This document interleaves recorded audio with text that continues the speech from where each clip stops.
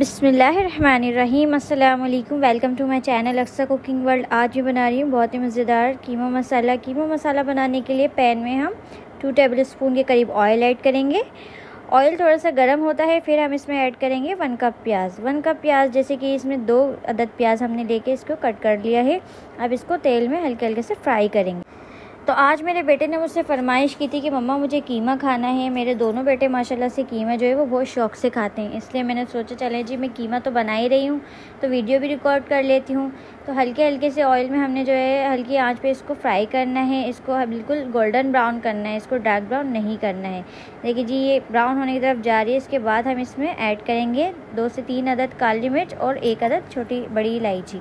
अच्छा जी, प्याज जो है वो हमने करनी है लाइट ब्राउन ज़्यादा डार्क ब्राउन नहीं करनी। इससे क्या होता है कि सालन का कलर बहुत अच्छा आता है, सालन बहुत ही अच्छा बनकर तैयार होता है। अब ये हमारी प्याज जो है वो ब्राउन हो चुकी है। अब इसमें ऐड करेंगे 250 ग्राम के करीब कीमा। कीमे को हमने अच्छे से वॉश कर लिया था और इसका सारा पानी भी खुश्क कर लिया था।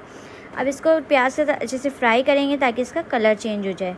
मैं हमेशा सालन बनाते वक्त कीमे का कोई भी सालन बनाऊँ तो मैं इसमें जो है पहले कीमे को फ्राई करती हूँ ऑयल में ताकि इसकी स्मेल बिल्कुल ख़त्म हो जाए और ये बहुत मज़े का बनकर तैयार हो। अब देखिए जी, कीमे और प्याज को फ्राई करने के बाद इसमें ऐड करेंगे हम वन टीस्पून के करीब नमक। नमक ऐड करने के बाद हम इसमें ऐड करेंगे हाफ़ टी स्पून लाल मिर्च। हाफ़ टी स्पून लाल मिर्च इसके बाद ऐड करेंगे हाफ़ टी स्पून धनिया, हाफ़ टी स्पून ज़ीरा और हाफ़ टी स्पून काले मिर्च। इसके बाद ऐड करेंगे वन टी स्पून के करीब कश्मीरी लाल मिर्च। कश्मीरी लाल मिर्च इसलिए ऐड करिए ताकि इसका कलर अच्छा आए एंड में ऐड करेंगे हम इसमें काली मिर्च। इसलिए ऐड की है हमने कश्मीरी लाल मिर्च ताकि इसका कलर बहुत अच्छा आए क्योंकि हमने बच्चों की वजह से लाल मिर्च बिल्कुल कम रखी है। आप लोग अगर इस रेसिपी को फॉलो करते हैं तो आप लोग अपने हिसाब से इसमें मसाले कम ज़्यादा कर सकते हैं। चलिए जी, मसालों के साथ इसको थोड़ा सा भूनते हैं। इसको थोड़ा सा भूनने के बाद हम इसमें जो है टमाटर ऐड करेंगे, जो हमने क्यूब्स में कट करके रखे हुए हैं।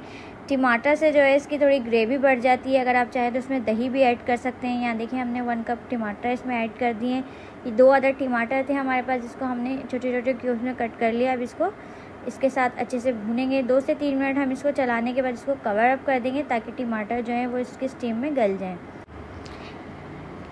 कवर करने के बाद यहाँ देखें, हमारे दो से तीन मिनट हो चुके हैं। अब इसको हम देखते हैं यहाँ टमाटर की क्या सूरत हाल है। टमाटर जो है वो काफ़ी अच्छे से हमारे गल चुके हैं। अब इसमें हम इसकी भुनाई की ज़रूरत है।